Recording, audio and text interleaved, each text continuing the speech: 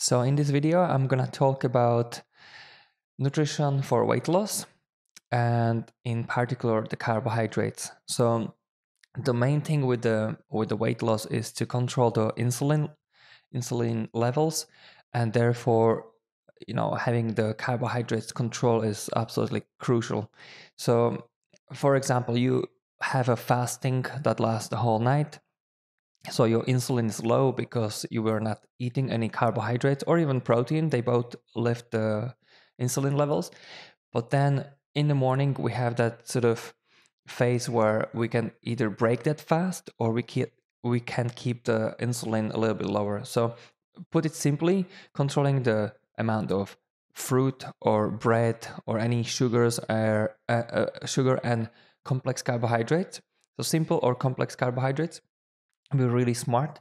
Um, this would not work exactly the same way for someone who is very athletic because those people would need more sugars, more carbohydrates to fuel the muscles because every time they train, their sugar and the glycogen is depleted. And therefore, when they eat the food, it will just come back to muscles and back to liver and glycogen. So basically, not active people or people who don't train hard enough, who don't have metabolic rate uh, program for the lifestyle of being active. So then you know you just control it and, and keep the insulin levels uh, lower. So what it does when insulin insulin is lower, you actually tapping into fat burning rather than fat storing. So when you eat your meal and you want carbohydrates in it, make sure there's also fats and proteins in it.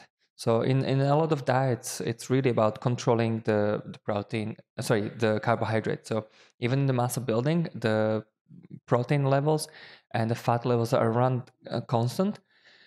Sometimes they change, obviously, but roughly the same. And then obviously you have the the sugars that you change up based on if you want to bulk on muscles or uh, cut the body fat. So simply just first stage one is just to eat less carbohydrate then eating less frequently. So you don't have these regular spikes of insulin uh, throughout the day. So that will increase also your insulin sensitivity. And that means that you you don't have to produce so much insulin then. And exercise is really good for it as well especially the high intensity training. It's hard it's painful but that's how we shock the system and make changes. So that would not work for everyone to just get uh, very high intensity training, especially someone who is uh, of age 60 plus.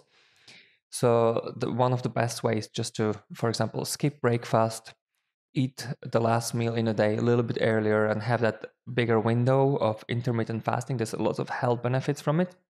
It would not fit and suit everyone, but this is just the idea that you can follow just to lose body fat. And the main thing is to control your energy level and control your weight, obviously. So you get the results you're looking for. So stage number one, just eat less carbohydrates. So for example, the protein fat based breakfast, then having a, li- little bit more carbohydrates, let's say for the lunch, but not a lot. And then having a little bit at the evening or not so much at all uh, depends on how how low carbohydrates you can handle because everybody works different way everybody has different pattern. But i hope this video helped you and you got some ideas from it. Any questions please let me know